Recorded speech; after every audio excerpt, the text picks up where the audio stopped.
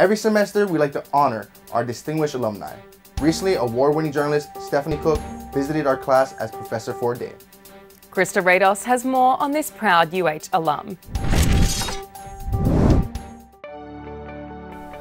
Emmy Award winning TV exec Stephanie Cooke has worn many hats throughout her career, including a graduation cap from UH Manoa. When she earned her English degree in 1994, she had no idea it would lead her to high powered jobs in broadcast news. I wasn't actually even thinking media when I was majoring um, in English, um, creative writing emphasis.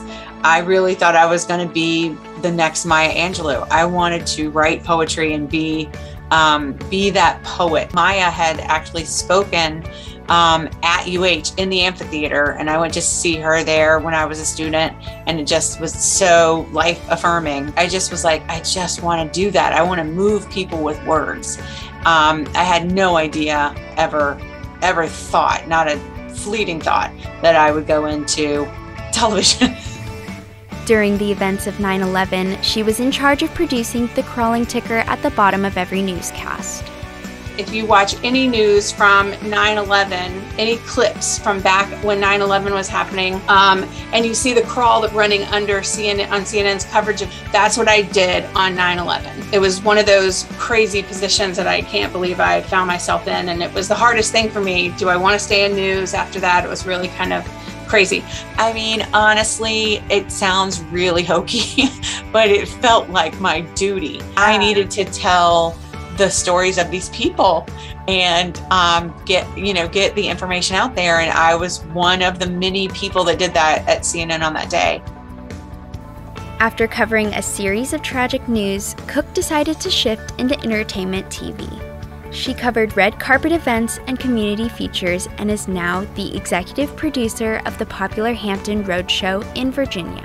I'm so honored to work on it actually. I was able to pick the paint color, design the set, um, hire the talent, uh, everything. Cooke believes her time at UH helped prepare her to become the storyteller she is today. I miss UH so much. It's been a long time. It's been 25 years since I've been to Hawaii, and I miss it so much. I marched in the marching band and, um, you know, was really all in on everything. Cooke also enjoys mentoring young journalists and has this advice for future graduates. My favorite thing about my job is that um, we are able to affect the community. And I think as journalism students, I hope that's one thing that you will take away from um, from UH and go into the world with a career. Um, to be able to affect your community in a positive way is really important. For UHMTV, I'm Krista Rados.